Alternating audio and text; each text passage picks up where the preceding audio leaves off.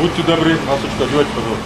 Просьба к забывчивым покупателям надеть маску при входе в торговый центр стала традиционной. Строгие противоковидные ограничения действуют в регионе уже больше года. Ежедневно сотрудники администрации, Роспотребнадзора и полицейские проверяют места массового скопления людей на соблюдение этих самых мер.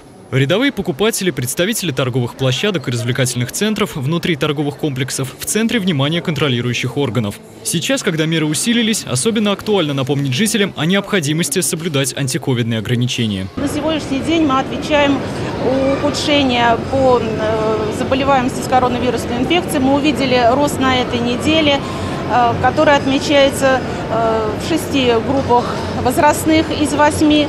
Э, рост отмечается среди детского населения, среди населения 18-25 лет.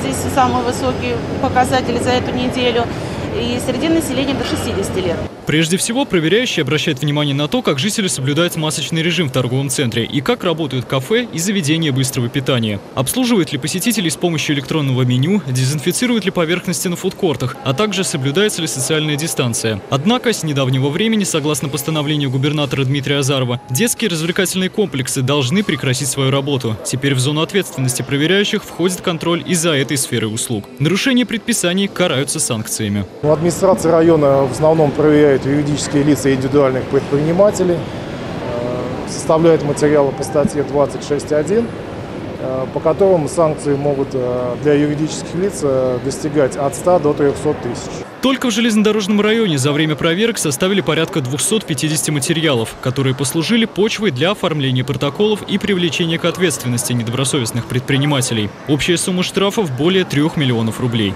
Проверки соблюдения антиковидных ограничений начались с сентября прошлого года и продолжатся вплоть до отмены эпидемиологических мер. Михаил Ермоленко, Василий Колдашов. События.